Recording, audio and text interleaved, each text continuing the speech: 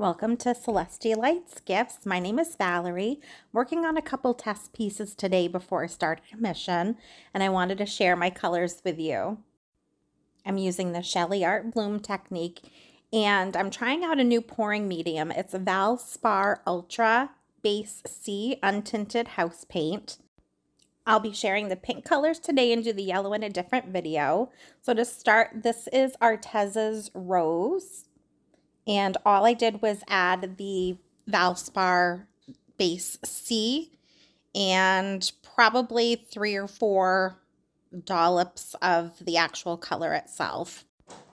The next color is this little piggy or TLP Hustle. I dispersed the pigment in Liquitex pouring medium, trying to keep that gloss down because it, it gives me wonky cells.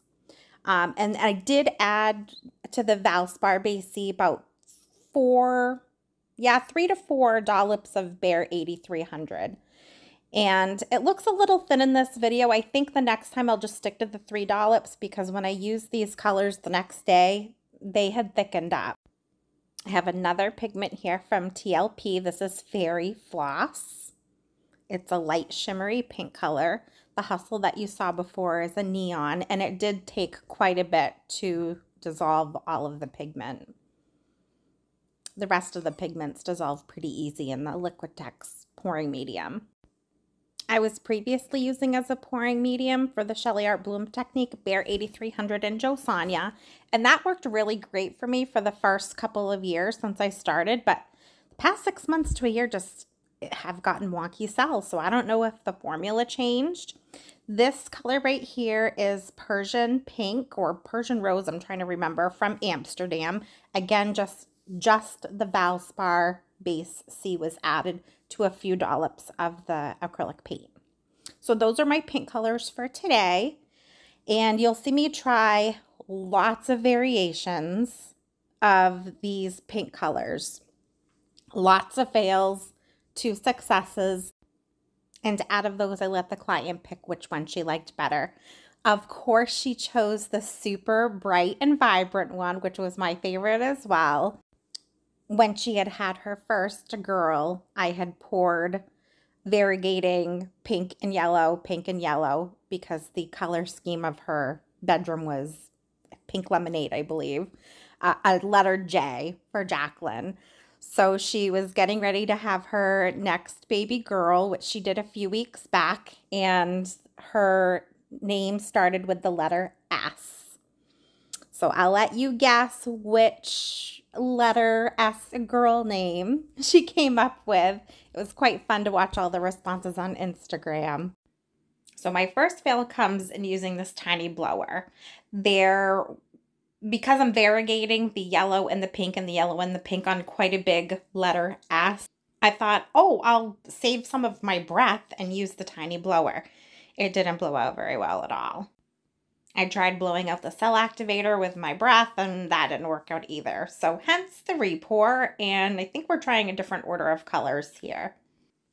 In picking my colors, and uh, not only for the pink but also for the yellow, I tried to pick two pigments and pay attention to the opacity. So I have a semi-transparent color and an opaque color. The Amsterdam light pink was opaque and the rose, I believe it was either semi-transparent or semi-opaque. The fairy floss is transparent. Hustle pigment is opaque, being a neon color from TLP. So this one did come out cute. However, I just, the color wasn't as vibrant as I wanted it. So I am going to repour over it. Don't hate me. One thing I am happy about is how the white cell activator is reacting with the pouring medium and the colors. I typically don't like using just white cell activator. I like using either Payne's Gray or Prussian Blue or double it up with a darker cell activator and a lighter cell activator like white. I'm trying to keep this piece that I'm working on, the S, similar to the J, and that had all white lacing and cell activator. So that's why I'm using the white. My pillow is PPG Multi Pro. I get that at Home Depot. And I do decant it into smaller containers. They have those little plastic like painting containers in the painting section. I think they're like two quart um, size. It's the smaller one. I usually use like three or four of them. I leave them open for a couple of days and let the paint thicken up. And it's perfect. It makes it really stretchy. So what I'm starting to notice is that my paints have thickened up. So I think next time, if if when I'm mixing them, it looks like they're too thin, then I'm just going to leave it because especially with opaque paints, they thicken up pretty quick. Just leaving them uncovered while you're painting, they thicken up.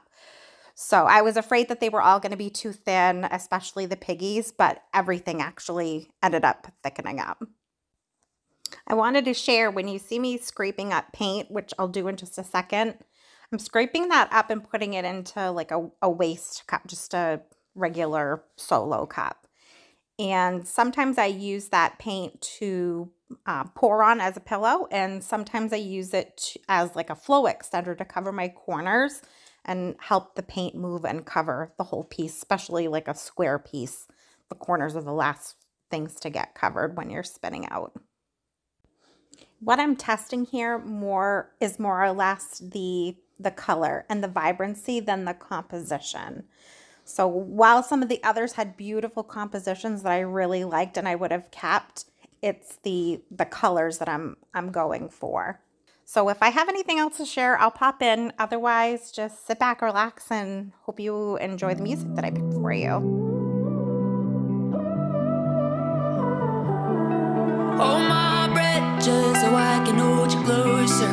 Hold my heart just so I can feel break.